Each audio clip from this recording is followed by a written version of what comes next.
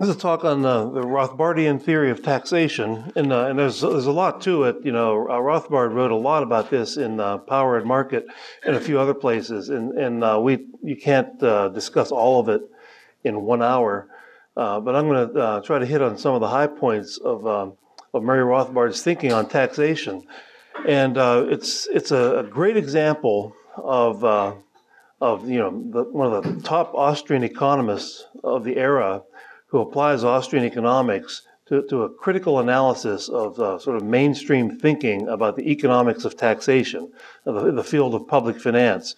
Uh, uh, not a lot of Austrians wrote in the public finance. Mises uh, uh, really didn't address uh, that whole area. It's a subdiscipline in the field of economics. He wrote about finance, of course, you know, and business cycles and so forth. But there's a whole subdiscipline of public finance that he really didn't say much about. But Rothbard was different. Rothbard uh, looked at all of it, and uh, and so uh, it's a good good way to uh, see uh, you know how, how Austrian economists challenge the mainstream thinking on, on something. And, and the first thing I'm going to do is talk about loopholes. Uh, you know, it's been in the, it's always in the news. It seems like if you if you read the news about what's going on in Washington, they're always condemning tax loopholes. Uh, you know, even even the word loophole is a loaded term. It's sort of like you know something good is going to escape through the loophole. You know, we we've got to close that loophole. It's not a good it's not a good thing. Uh, but uh, Rothbard's uh, analysis was very different uh, than that type of thinking, because when you think about it, uh, when when you hear all the politicians, of Republicans and Democrats, complain about tax loopholes. We've got to cl- uh, close tax loopholes. They're saying we need to raise taxes. They're saying you have too much money in your pocket and we don't. Uh, we, we need more money in our pocket. We, the politicians, we need to spend more of your money. That's that's what they're saying, uh, uh, despite the language of loopholes and deductions and and and, and so forth. And uh, there's some examples. I, I have some old examples here, but they sound exactly like what you could have heard two days ago in the in the Wall Street Journal or the Washington Post in discussions of tax reform. Uh, this was from a, an Associated Press report uh, during the Bush administration. It's the exact same words you could find a week ago. Uh, he said the, the administration wants to simplify the nation's tax laws by eliminating tax deductions, um, but um, they warn that such proposals are often thwarted by Washington lobbyists determined to protect special tax breaks for their clients. And saying that's a bad thing. President Bush said he wanted a, a fair tax without tax loopholes for special interests. And you've heard all this before, it's all very familiar. And he, of course, he favored a flat tax that gets rid of deductions.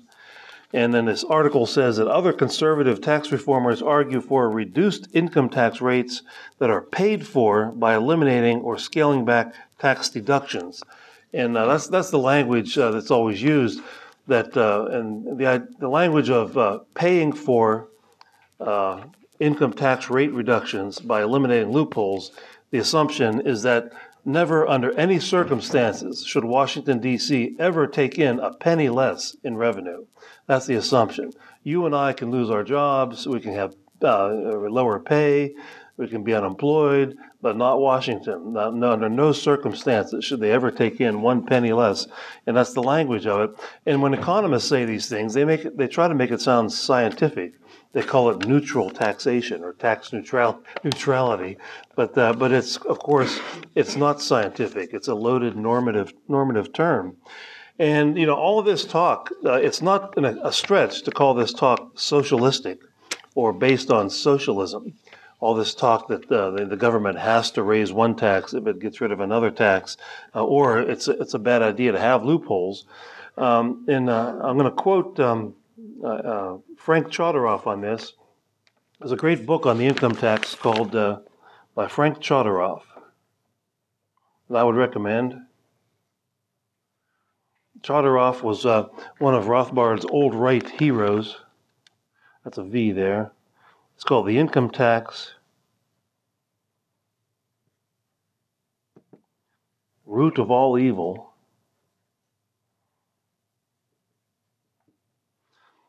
Okay. And uh, here's one of the things he said about this point in, in his book on page 11 that the state is saying to its citizens, Your earnings are not exclusively your own. We, the state, have a claim on them, and our claim precedes yours. We will allow you to keep some of it because we recognize your need, but not your right. But whatever we grant for you, uh, grant you for yourself, is for us to decide. He's talking about the existence of income taxation. He says, Moreover, the amount of your earnings that you may retain for yourself is determined by the needs of government, and you have nothing to say about it. So that, that's Frank Chodorov saying that, in essence, this is what income taxation says that when, they, when governments adopt an income tax, uh, they're saying, We have nationalized your income. Your income is ours. You know, you, you're a slave to the state. And we will decide for you how much of your the uh, fruits of your labor you can keep by first deciding what our needs are, not your needs, our needs, us, the state, and then we will adjust the income tax rates accordingly, uh, according to what we think is uh, uh, enough for you to keep from your own labor. Okay, and so uh, another thing Chodorov said, he says, when the income tax amendment was passed, this was the year 1913 in the U.S. Said this uh, quote: "The absolute right of property in the United States was violated." And that, of course, is the essence of socialism. Whatever else socialism is, its first tenet is the denial of private property. All socialists, beginning with Karl Marx, have advocated income taxation, and the heavier the better. Uh, and that is certainly true. It's your property, your money that you, you earn with your work, your labor, and the government essentially nationalized it when it adopted uh, the income tax. Okay, and so uh, that's one way of thinking. And Rothbard would have would certainly have endorsed this because, as I said, Chodorov was one of his favorites, uh, and he loved this book, uh, Income Tax: Root of All Evil, by Chodorov. It's for sale out here. I saw it. They still have some copies out there, and uh, it really is a good book. And uh, another thing that um, uh, economists talk about is um, with loopholes and tax deductions. Uh, economists try to make it sound value free when they talk about how the existence of tax deductions uh, causes uh, what, uh, what's called a deadweight loss or social cost. That is, if, if you, if, you, and I are motivated to find ways to reduce our taxes, looking for loopholes, hiring lawyers or tax accountants to find uh, tax deductions, tax loopholes uh, for us. Uh, I hire a very good one. He's, he's really real well worth the money. And, and you know, I thought I knew something about how to avoid taxes legally by over the years by doing my own taxes for, for years, but this guy is a, like a genius in, in, in this because the tax code is so complicated. Uh, it really uh, pays to hire somebody who spends his whole life doing this. Uh, but that's called deadweight loss by economists because they, they the, the argument is that, well, surely would be better off if, uh, if I was working, you know, uh, writing books or teaching another course or, or cracking rocks on a rock pile or something like that, as opposed to as opposed to hunting down a tax accountant and you know working with him. Uh, and so, but but and so this is this is put out there by the economics profession, people in the area of public finance, as value-free analysis because all they're interested in is efficiency, economic efficiency, the economic growth, increasing GDP, but they always sneak in uh, a, a, normative assumption in there. And the normative assumption is that it would be better if you had less money and the state had more money of your money. That's the assumption there when you get rid of tax deductions.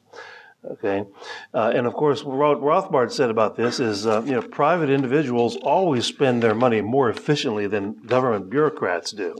And so, if you're going to call this efficiency, it's it's backwards. The the analysis is backward. It's not efficient to hand over more money to the state uh, by closing tax loopholes. It's less efficient uh, in that sense. And so, uh, and of course, uh, one of the things I always admired about Murray is he always smoked out the value judgments that the mainstream economists sneak in to their analysis like that under the guise of uh, positive economic analysis. And so, uh, so that's another um, another point point that Rothbard made. And so, in, in that sense, you can look at uh, tax accountants as, as sort of hero, heroes uh, of society if they can help you avoid taxes. You know, every every penny that you deprive the state of is, is a good thing. And so, uh, you know, Adam Smith in The Wealth of Nations uh, called smugglers heroes because they were they were getting around the state's protectionist tariff laws and therefore helping people to buy cheaper food and cheaper clothing and things like that. Well, that's what uh, tax accountants and tax lawyers are doing, aren't they? They're they're helping people get around uh, the, the tax laws so that they can uh, uh, provide for their families better. You know, why is that not a good thing? Why is that inefficient or dead weight? Uh, it's socially costly. It's socially beneficial. It's not social, socially costly to do that. Uh, one, one of uh, a, a, very interesting book that was a huge hit among the Mises Institute students some years ago when it came out was For Good and Evil, a, a, a history of taxation by Charles Adams. It's pro- I'm sure it's probably out there somewhere. And Charles Adams was a, a tax lawyer his, his whole life, and uh, and he wrote this big fat book on the history of taxation, uh, you know, beginning with ancient Egypt all the way up through uh, the modern modern days. So if you're ever interested in reading a, uh, an interesting book on the history of taxation in the world, um, for good and evil, is by Charles Adams. Uh, I would recommend it. Um, here's another thing Rothbard said in he, uh, in his book, uh, The Logic of Action, he, uh, one of the chapters is called The Myth of Tax Reform.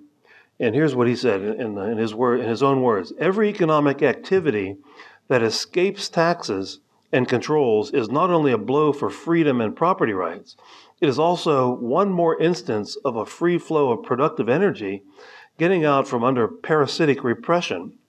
That is why we should welcome every new tax loophole, shelter, credit, or exemption and work not to shut them down, but to expand them and to include everyone, everyone else with them. Uh, the argument that, well, tax loopholes don't uh, uh, benefit everybody is usually made to say, well, we should get rid of them then. It's unfair that not everyone benefits from tax loopholes. Rothbard said, well, wait a minute. Uh, why isn't it legitimate to say that, well, we need to expand them then? If it's unfair that not everyone benefits from them, let's expand them so that everyone does benefit from them. Why is that a, a loaded uh, analysis or a normative analysis, but the first one is not? Uh, and that, that's a good point. And because the first analysis that we need to get rid of them because it's unfair, again, the bottom line is that you have too much money in your pocket and the bureaucrats have too little of your money in their pockets to waste. Uh, Ludwig von Mises said this at a 1952 conference. He said, let us, I'm quoting, let us be grateful for the fact that there are still such things as those honorable gentleman calls loopholes. Thanks to these loopholes, this country, the U.S. he's talking about, is still a free country, and its workers are not yet reduced to the status and the distress of their Russian colleagues. Uh, this was, you know, right after World War II, fairly shortly after World War II, when the income tax rates were uh, pretty high. Let's see if I. I had a statistic here. I don't want to mention that statistic right now, though. And so that, that was Mises on this. Okay. Uh, another argument that uh, mainstream economists make has to do with taxes, tax deductions uh, that go to industries, uh, tax credit for the energy industry, for the oil industry, or something like that. And the usual argument is that, uh, well, if the government uh, reduces taxes in one industry but not all, uh, then that creates a misallocation of resources because resources will flow. You know, more resources will flow into that industry than would go had there been a, a free market with um, you know, no tax deductions anywhere as far as that goes. And so that, that's pretty much universally uh, agreed upon by mainstream economists that this is inefficient uh, to have tax breaks for some industries, but not all. It distorts markets. Um, but Rothbard is sort of a, a Johnny One Note on this, in that, uh, let's see, yeah, and that here's what he says. He says, What is the alternative of doing this? If investment, energy, or other tax credits or deductions are abolished, resources will not automatically go into more productive areas. Instead, they go into government via higher taxes and will simply be wasted, thrown down the rat hole of unproductive and profligate government spending. So, yeah, if you do, if you do away these tax deductions in, that exist for some industries but not all, uh, you have to focus also on the expenditure side of the budget. That's one of the things that uh, Rothbard um, did that was uh, superior to the, a lot of the public finance economists who only look at the tax side of the budget and don't comment on, well, what happens to the money that is collected by these tax increases in the name of tax neutrality or economic efficiency or something. That has an effect on the economy too.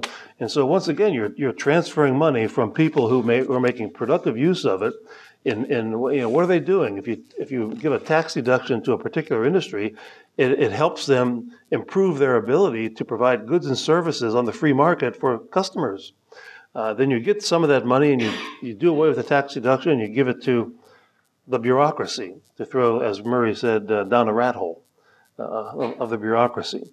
You know, what wonderful things are, are they going to do with it? Uh, build more housing projects, which they will blow up in 10 years, which is what they, they do uh, quite a bit uh, anymore, as far as that's concerned.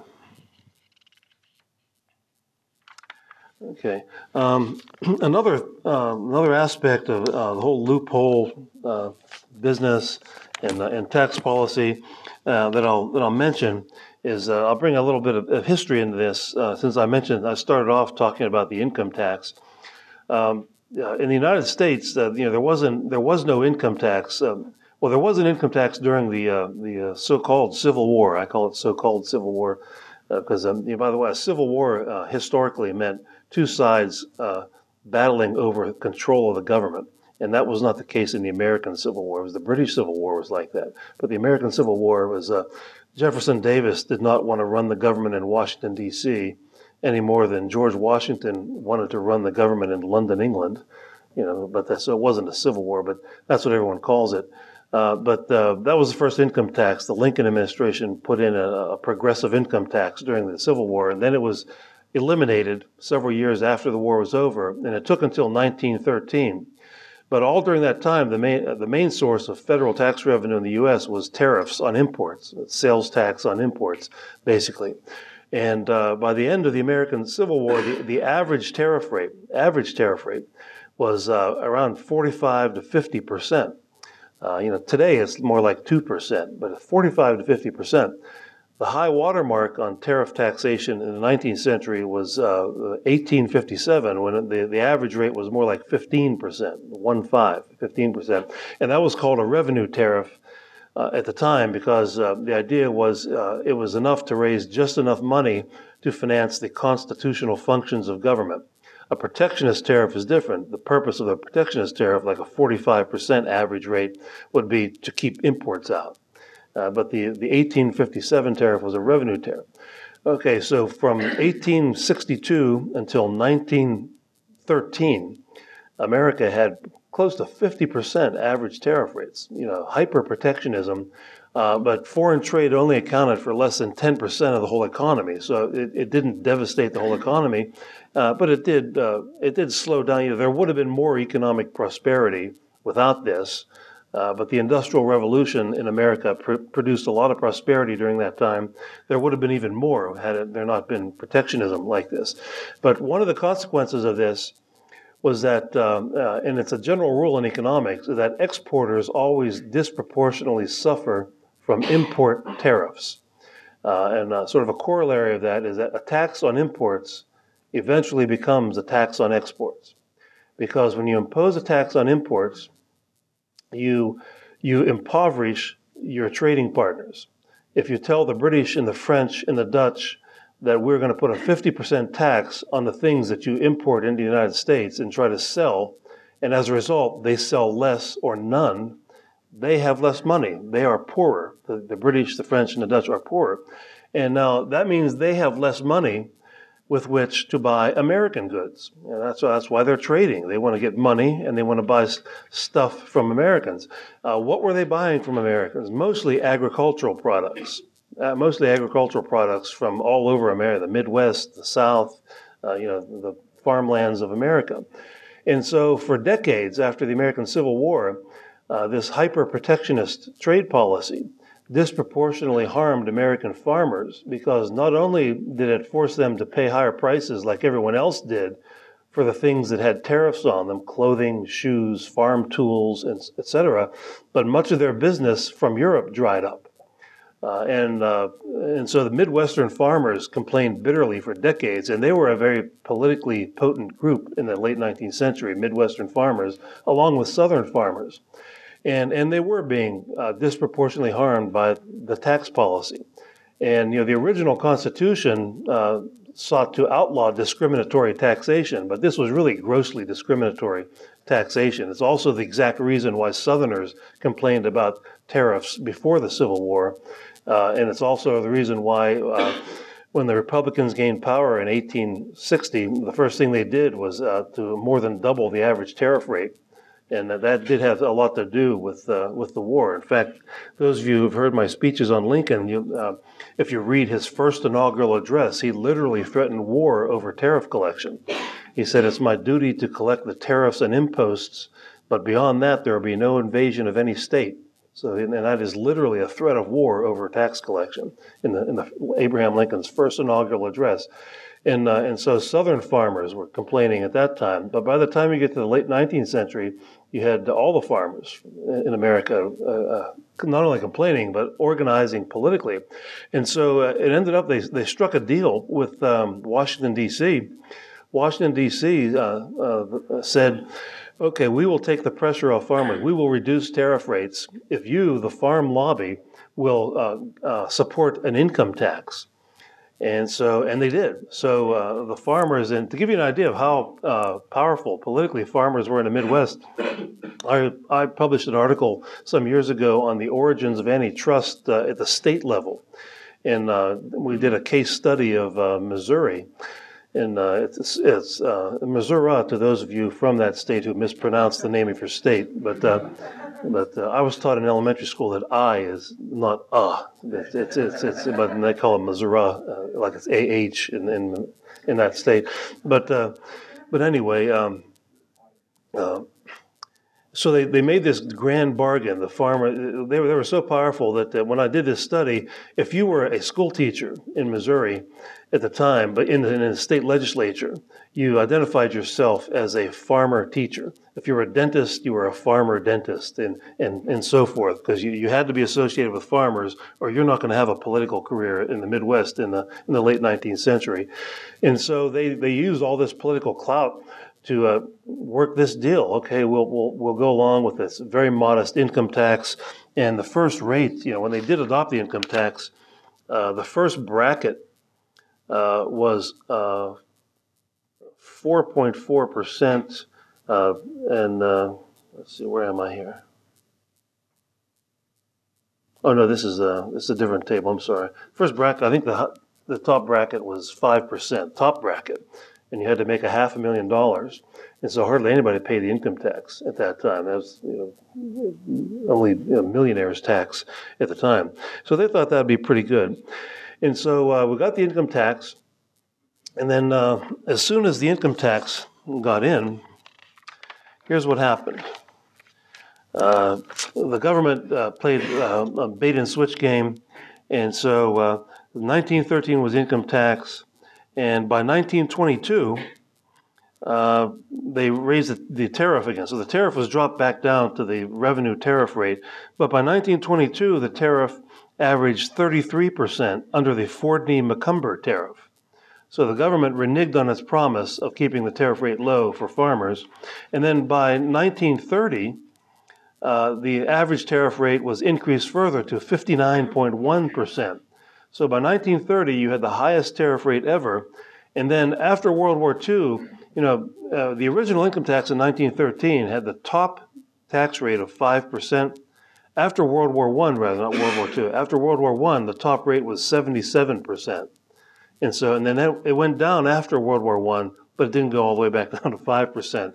And so, by the time you get to 1930, you had you had uh, very high income tax rates, much higher than they originally were, and the highest tariff rate ever. So it was a classic bait and switch uh, uh, problem, which uh, I think should teach anybody lessons about uh, tax reform. When you watch what's going on with tax reform, when they say, "Oh, uh, eliminate the loopholes and, and in return, we will reduce the income tax rate.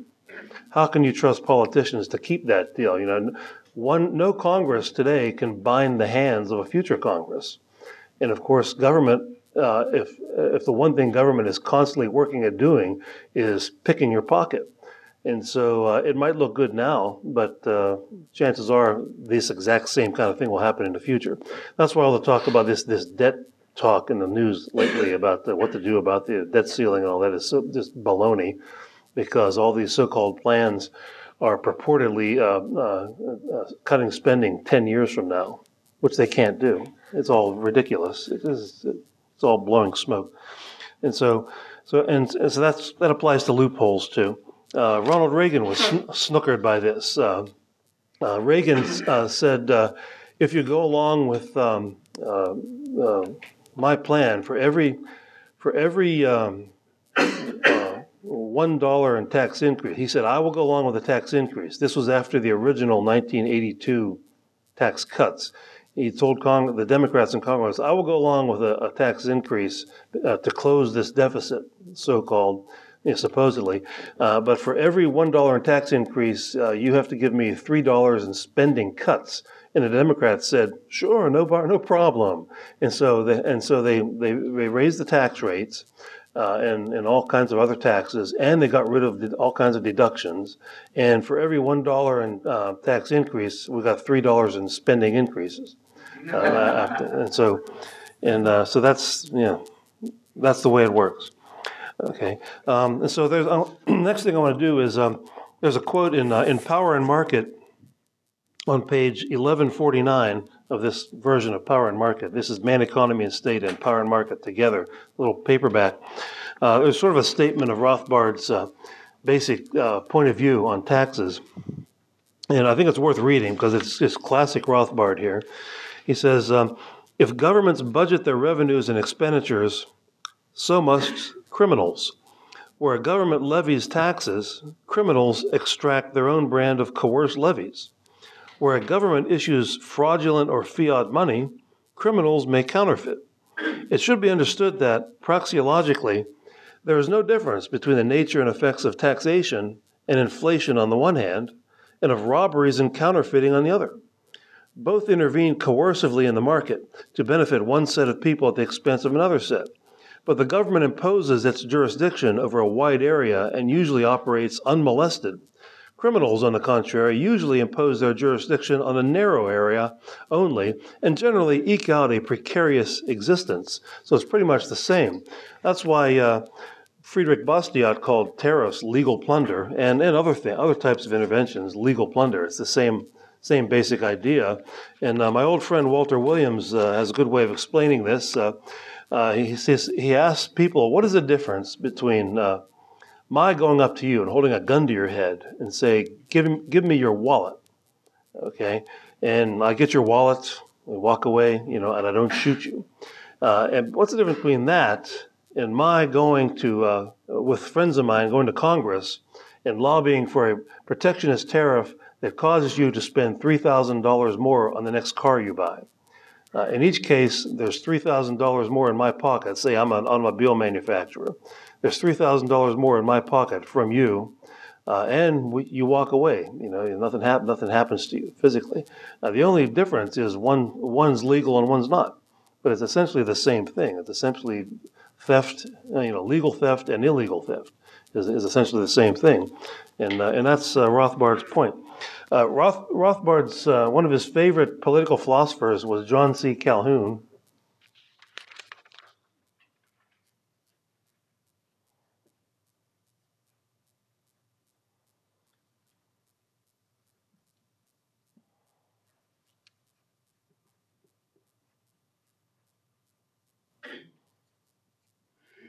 And in particular, this book. And uh, don't be an idiot and and and, and like and, and, send me emails like I sometimes get if you by saying, "Well, I found something else Calhoun said that wasn't very nice." Uh, you know, how could you defend this? Uh, Rothbard liked this book a lot. It was a very learned book. Sometimes when I when I quote somebody, uh, for example, I'll I'll praise uh, Microsoft for dropping the price of computer software, and I'll get uh, emails from people uh, you know, with a whole big long list of sins by Bill Gates. You know, how could you do this? Or, or if I write an article pointing out the true fact that John D. Rockefeller was responsible for a 40 year decline in the price of oil, um, they'll say, well, "How could you defend Rockefeller?" and they'll have all these bad things that he supposedly did. But of course, that's not the point. Uh, the point is, you know, what is said in this book that he wrote. Uh, you know, and so I, I, get mail like that all the time. I, I, think most people in this room are probably intelligent enough to know, to know that. But uh, but Calhoun. Uh, um, Murray considered him to be sort of the last of the founding fathers philosophically, the American founding, even though he was the, of the next generation from Thomas Jefferson, James Madison, and these people. He was philosophically in tune with them, and he was every bit as bright uh, as these people were. And if you read this book, you'll see why. It's online, and you can buy it from the Liberty Fund. And in Indianapolis, they have a bound copy of it, a disquisition on government. And uh, and one of the things uh, Calhoun did is he uh, uh he uh, he wrote about what what's known as the libertarian class theory in this in this book. And libertarian class theory uh, goes back several hundred years. it wasn't this wasn't original to Calhoun, and it's different than Marxian class theory in that it doesn't have anything to do with the the uh, laboring class being exploited by the capitalist class, anything like that. The two classes are net taxpayers and net tax consumers.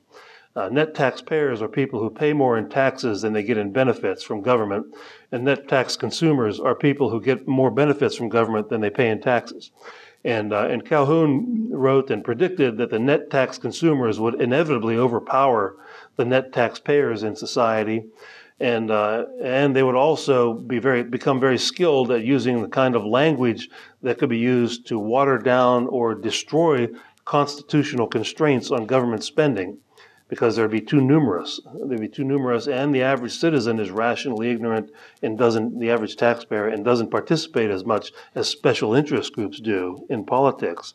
And so Calhoun thought uh, uh, you would need something more than just a written constitution to constrain government. You'd need the people themselves would have to take matters into their own hands and and uh, decide what is and is not a constitutional and legitimate function of government. You can't let the government itself enforce this constitution through its own Supreme Court. If you do that, uh, it'll decide there are no limits to power, uh, which is, of course, where America is today. Uh, you know, we didn't take Calhoun's advice and that's where we ended up today. But uh, uh, Rothbard, whenever he writes about taxation, he almost always starts with some sort of exposition of Calhoun's libertarian class theory here about net taxpayers and net tax consumers. Okay, so uh, and I would highly recommend this book um, too if you want. It's a really classic book on uh, political economy. Those of you who are familiar with the field of public choice almost everything you would learn about public choice in an undergraduate course on public choice is written in this book, uh, you know, 150 years before there was such a thing as a subdiscipline of public choice. Uh, now, on tax incidence, uh, Rothbard is very good on uh, tax incidence. That is, who pays the tax. Who pays the tax is not always the same as what the government says who is supposed to pay the tax. And uh, he used an example of uh, you know, if the government, uh, you know, what is the effect of the government imposing a tax on the codfish industry? Uh, well, uh, you'll have less codfish caught, less cod fishing, and you'll have a lower rate of return to investment in the codfish industry. And then, as always, he always looked at the expenditure side. He, was, he thought it was not legitimate to analyze the effects of a particular tax without also asking the question of what happens to the money. And in his example, he says, well, if we use the money for the armaments industry, uh, you're going to have a, a, reallocation of resources away from fishing and, and toward uh, the armaments industry. That's pretty self evident. And uh, another point that he makes here uh, about his analysis of taxation is that all government expenditures are consumer expenditures. Uh, the, the old, whenever you hear a politician say, we're going to invest in education or we're going to invest in blah blah blah blah blah blah. It's, there's no such thing as government investment because it's these decisions are made by politicians to spend money on whatever building a post office. It's not it's not an investment like a, a business investment or a personal investment. They're not they're not uh, producing things that will produce goods and services and, uh, and, a revenue stream in the future that will pay off the loan that was taken out for the investment. It's current spending to buy votes essentially, is all government spending. And so all government expenditure is consumer expenditure. And uh, when you hear politicians use the word uh, investment, uh, they're lying. It's not, it's not, there's not an investment. It's a myth. And, uh, you know, two general effects of taxation Uh, one one effect of uh, all taxation is that uh, consumer sovereignty is replaced by political whim. That is, when when the government takes taxes out of the pockets of the people, uh, well, you were spending that money on whatever it is you want to spend the money on, and that's called consumer sovereignty. That's you know one of the hallmarks of a, of a capitalist economy is that the, the consumer is king. In, the, in Human Action, von Mises, one, uh, I mentioned my, on my earlier talks, one of his one of my favorite quotes from uh, Human Action is uh, when he calls the consumers hard-hearted and callous, who do not care a whim, uh, not care a whit for the the uh, the businesses that they do business with, that they, uh, where they buy things from, because we'll switch on a dime if uh, if we get a better deal from somebody else, and that's true. And so uh, at the heart at the heart of it, taxation replaces that. It's it it's, it destroys that because it takes some of your money from you that you cannot use to buy consumer goods that you want to buy. You allow politicians to decide how to spend that money, and their whims and fancies uh, will you know, they'll build bridges to nowhere that you may have read about and dig holes and fill them up again. During the Great Depression, they were painting fake doors on buildings, uh, you know, to, to get artists uh, work to, to do. And things like that. Or they'll bomb Libya. You know, was there was there a great outcry by consumers to bomb Libya?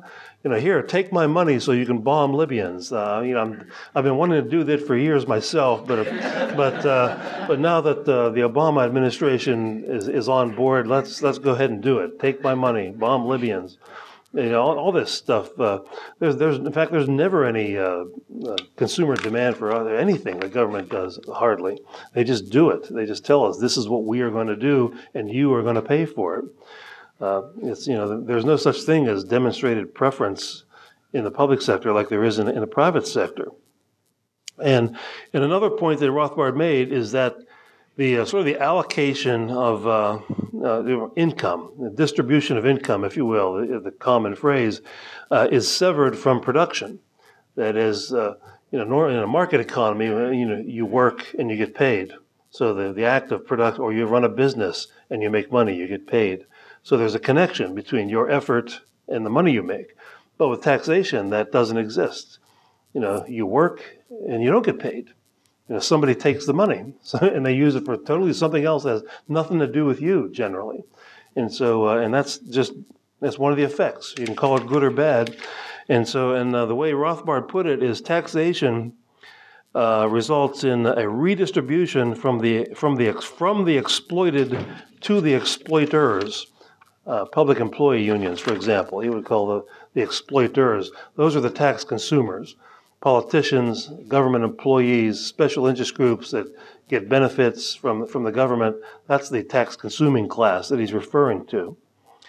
And uh, the next point that I mentioned, this was mentioned yesterday at the Q and A on uh, on public policy upstairs, when uh, when some of some of you have, have, apparently been duped into thinking that Neil Boortz is a smart guy, and he, didn't he write the book on the flat tax or something like that? And sort of, isn't he isn't he the uh, the author of the book on the flat tax? That's, uh, I think the radio guy, one of those radio guys. Fair fair tax. Yeah, is that is that who it is? They all look and sound alike to me. Rush Limbaugh, Neil Boortz, they're all uh, you know, Mark Levin, they're all screaming neocons. But uh, but it is one of the fair tax well, this is nothing new, the fair, tax. But, but, the main point the Austrians uh, make about this is the important, the really important thing from an economic perspective is how much tax the government takes from you, and you know, and how it takes it from you is really a minor thing. But uh, there are a lot of mainstream economists and uh, radio goofballs like uh, this guy uh, who who seem to think that oh, the of ultimate importance is how the tax uh, is, is taxed. Uh, not so. It's it's how much money is taken from your pocket is really a much more important uh, thing as far as that goes.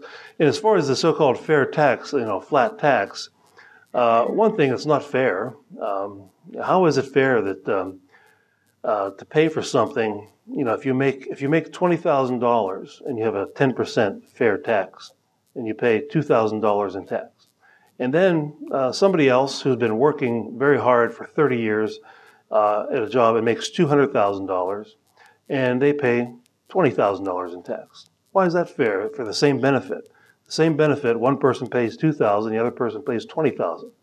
That's supposed to be fair. That's I don't know. You, I think you could argue that that's not that's not fair, but that's the flat tax. And uh, also, uh, you know, per se, a, a, fair tax, a flat tax. What would be good about a ninety percent flat tax? You know, if you let the government set the rate, oh yeah, it's fair. Everybody has the same percentage. But uh, you know, the big question is, well, what will the percentage be? And so, uh, so the government can take just as much money away from you with a fair tax as an unfair tax. And, and the unfair tax is a tax that, code that has loopholes, like I said. And so the whole basis of this argument by Boortz and others who advocate the so-called fair tax, which is a flat tax, uh, the, the assumption is that loopholes are bad, we need to get rid of them. And, uh, and as I said, you know, Rothbard made a pretty compelling case, as did Mises and others, that this is not a good idea to get rid of these loopholes. Because once we get rid of those, sure enough, we'll have no loopholes and a high fair tax rate. Now, that's been the whole history of taxation. You're not going to get a low tax rate if you get rid of loopholes. Okay, now, um, now on, on tax incidence, um, uh, probably the, the biggest difference between Rothbard and the mainstream economics is on this point of uh, taxing businesses, the point of uh, imposing taxes on businesses, uh, where because of the uh, the Austrian view of uh, of cost and price, you know, price determines cost, not cost. The cost doesn't determine price in the Austrian view. And this is, this is similar to what mainstream economics calls derived demand. The demand for inputs are derived from the demand for the output that is being sold, the, product, the final product and so the price of the final product, which re- reflects consumer demand, is what determines what the what the inputs are going to go for. If if if you're uh, if you're in the business of producing lead tennis balls, and no one wants to play tennis with lead tennis balls, then the fact that the price of lead tennis balls is zero will mean the price of your lead uh, uh, you know, any inputs that are used, your effort will be zero. You won't make any money. Uh, you know, your your labor is an input, and so you know once you understand that, uh, you understand uh, uh Rothbard's argument that uh, taxes on businesses uh, cannot be passed on to to customers because the argument he makes is that that you know if businesses had the latitude to just raise prices to make more money, they would already do it. they don't need the excuse of a tax to raise price you know, if they could raise their price and make more money, they would already be doing it. So you could assume that in a competitive economy, businesses are already charging as much as they can, uh, you know, the profit maximizing price. And so the implication of this is that a tax on business is borne by one, capitalists, and two, all input suppliers, including labor. And because it, it lowers the rate of return to whatever the business it is, whether it's the farm business or the manufacturing business or the high tech business uh, the people who run the business and the people who work in the business, the people who sell supplies to the business, they will all make less money. And so, there, and so that's why any tax on business is a tax on labor as well. This is one thing uh, the Marxians never understood. And uh, it's one thing that uh, a lot of people today who would never call themselves a Marxian still believe in. They still believe in, yeah, let's tax the corporations. You know, they make too much money. Well, you're going to tax labor um, and all input suppliers when you do that if you don't understand this. So all input suppliers and owners of land, if land is an input into the production of something, uh, the land that a factory is on, the farmland, uh, there'll be a, a, lower rate of return uh, on investment in all of these things. And so that's who pays, pays business taxes. Uh, another sort of controversial or different point that uh, Rothbard makes is that a sales tax uh, therefore, a sales tax is, is essentially an income tax. It's the same as an income tax because it falls on factor owners. It falls on um, owners of the factors of production. Okay, it's not passed on. Okay, so it's pretty much the same thing. So when you, so some conservative economists uh, for years have written books and articles favoring a consumption tax over an income tax. So what Rothbard is saying is it's the same thing. A consumption tax is a form of a sales tax usually, uh, but a sales tax uh, because of this idea, because price determines cost, uh, businesses are already charging as much as they can. When you impose that tax, they eat it. The business eats it, and, the, and all the inputs that are used into that business eat it, and they, they pay the tax. And so uh, you are taxing income, somebody's income. You're taxing the income of input suppliers, landowners, uh, capitalists, investors, uh, that's who you're taxing. And so uh, he would argue that it's a false distinction between a consumption tax and an income tax. And so, uh, you know, what are the effects of income taxation? Uh, well, this is not unique to Rothbard, but uh, it makes uh, leisure look cheaper because uh, working is less lucrative. If you know, there's if, if, if working, you know, you have two things you can do with your time. You can work, or you can not work, and not work is called leisure just generally, whatever it is, whether you're sleeping or playing golf or whether it's leisure. And so uh, when you and when you put a tax on income, you're taxing work, and you make uh, you alter that trade-off that, that we all make on how many hours to work versus how many hours to do something else, and uh, and you make it less profitable, so to speak, to work, and therefore you have more leisure, and uh, that's just one effect, and it's uh, you know it's sort of coerced coerced leisure you know, you wouldn't you wouldn't make that choice uh, without the income tax, but you're forced into it by the income tax. And uh, of course, it means every working person's uh, standard of living declines because money is taken out of your pocket. And, uh, and of course, if the money is spent on you, you could make the argument that it doesn't really decline because the money comes right back to you. But of course, it, that never does. It never does totally that way uh, because the government always keeps its share. Uh, uh, of, of any tax. Um, there's one argument here that you know you know people could conceivably work harder when you when you tax them or raise their income tax rates. Uh, some people, not, not, maybe not every last individual, but some people could respond to that by just working harder because they don't want their standard of living to decline. So the government taxes me more while I work an extra 10 hours a week so that I can maintain my standard of living. I don't want to have to take my, uh, my, my kid out of private school and put him in the public school disaster or so, something like that. And so you can, you can make the argument that people will do that. But, um, and, and Rothbard doesn't deny that. That's a possibility for some people. Not everyone will take more leisure and less work uh, if you increase income tax rates.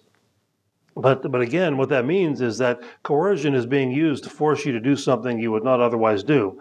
And so it's not necessarily a good thing that uh, coercion uh, does this. And also, uh, you know, when, when, income tax rates get high enough, it encourages barter. It encourages people to trade not with uh, uh, the income they earn, but in-kind services. You know, a dentist will do a teeth cleaning for me if I uh, what give him a lecture on microeconomics or something like that. That's a that's a yeah. I usually have a big deficit with my dentist. He never uh, never wants a lecture. He always wants cash to. Um, to uh, in, in, that regard, and so and of course barter is more inefficient than if you use a medium of exchange to engage in uh, in transactions.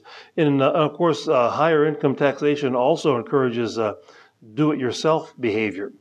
Uh, if you don't have the money, you know, if you need a new roof, you might like to hire a roofer to put a new roof on your house if you had the money. But if you don't have the money and you can do it yourself for half the money, and because that's all the money you have, well, then you'll, you're going to do more things around the house by yourself, and uh, and that'll lead to the growth of places like Home Depot or they have people teach you how to do this kind of stuff without killing yourself, hopefully, uh, you know, roofing and all that. But then, you know, what what that does is it sort of disrupts the whole benefit of the division of labor.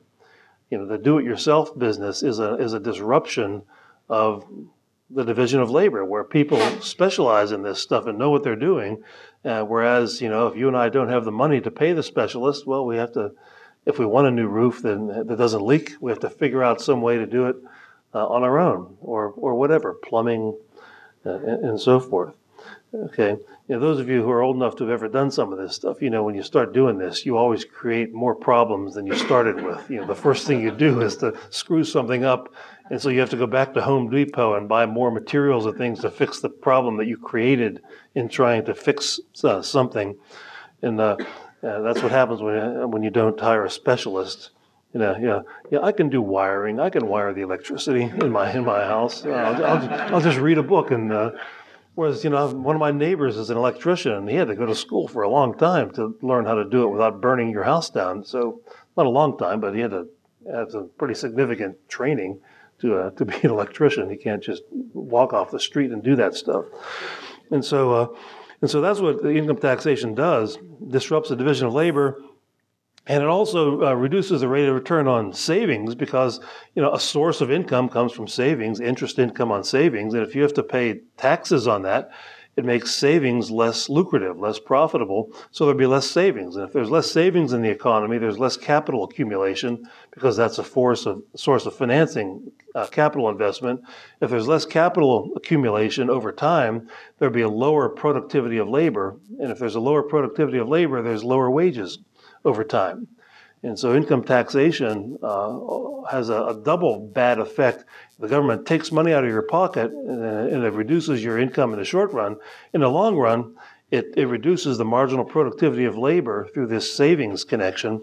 And so uh, the whole country is poorer in general because of that. Income growth will be slower if, if uh, labor productivity growth is slower. Um, and if you, you follow what uh, Rothbard is saying about taxation, then you know that the Social Security tax, uh, he argued, is all paid by employees, even though the way it's administered in the United States is uh, the employer sends a check to the government, supposedly 50% of the total tax, and then the other 50% is taken out of your check and on your behalf, out of your pay, uh, on your behalf, uh, the employer sends it to the Social Security Administration. But, uh, but in reality, since it is a tax on a business, the first part of it, uh, you're going to pay that in, in the form of reduced wages. You, know, you would have made a higher wage had the employer not had to pay that tax, uh, because you'll get paid the, your the value marginal product of labor in a competitive market. But if the government imposes a tax on the employer, part of what you're being paid is that tax that he pays for you. And so, uh, so you, you and I will end up paying all of the uh, Social Security tax or any kind of payroll tax like that. Um, and the final kind of tax I'll mention here is the corporation income tax. And I'll, I'll draw a picture to show the effects of that. Rothbard discusses it in uh, plain English, but uh, since I have a PhD in economics, I'll explain it in a much more complicated way. That's what we're taught to, taught to do in economics.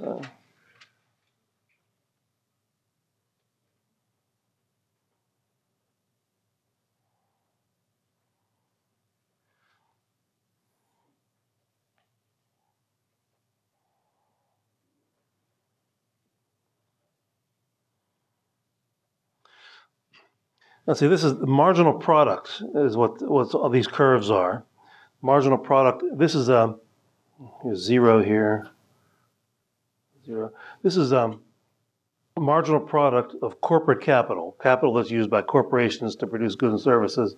This is marginal product of non-corporate capital, and it's declining because of the law of diminishing returns. And non-corporate capital is housing, farms, state and local government, uh, they have capital stock, uh, and, and, that's what that is.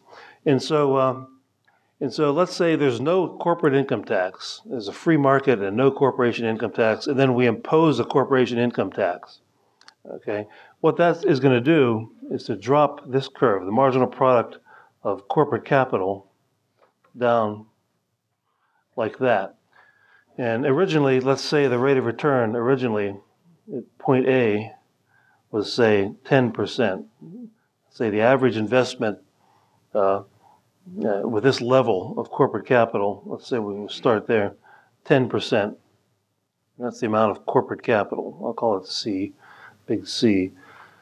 Okay, and so what's going to happen is now there's a tax on everything, every dollar you make by investing in this corporation or any corporation, and so the rate of return it's going to go down to corporate capital to say 5%. So all of a sudden, uh, if you invest in uh, non corporate capital, you can make 10% return. But if you invest in corporate capital, you can make only a 5% return all of a sudden. So what's, what's likely to happen uh, in terms in, in the markets? right, investment will increase in the non corporate sector farming and other things will be more lucrative, so more money, more more capital will flow in that direction. Okay, so originally you'll have this five percent, you'll have an arbitrage opportunity here, and so uh, you know more capital will flow in this direction in the non-corporate sector. You'll move down along that line, and that'll that will reduce the marginal productivity of capital because of the law of diminishing returns. And so, and at the same time, this also means a reduction in the amount of corporate capital because you're moving up along the corporate capital marginal product curve. and you'll create, and so you'll have the, the, and so if you're having less corporate capital, the marginal product goes up, not down. If it goes up, the return goes up, the higher marginal product. And so, uh, and so, and just the opposite will happen with non-corporate capital. As you have more non-corporate capital, because of diminishing returns, the marginal product goes down and the return goes down, and some new equilibrium will be achieved at say seven percent. Okay, so that'll, that'll so it, the equilibrium here will move from A to B to C, and so the end result is that a tax on corporate capital, like the corporation income tax, is a tax on all capital. So all the owners of any kind of capital will will pay uh, the tax. The incidence will fall on them because there's a lower return on everything, and and also anybody related, anybody who works in the non-corporate sector or the corporate sector, the labor, uh, it will be less lucrative because uh, there'll be less less of return overall on the enterprise, whatever the enterprise is, farming, home building, uh, corporations building cars, whatever it is. And so uh, Rothbard explains this in, in plain English, but this is, uh, uh, and, and so what he has to say about this is really not different much at all, if at all, from the general mainstream analysis of this. And this was actually, uh, this, this graph is a sort of a, an, an elementary explanation of uh, a famous article by Arnold Harberger. It was in the published, I don't know, in the ni- early 1950s, I think, a long time on the effects of the corporation income tax that became sort of the standard analysis in economics of uh, why it is that all capital pays the price. All the owners of all types of capital pay the price of uh, corporation income taxation, as do uh, uh laborers and all input suppliers in the whole economy, really.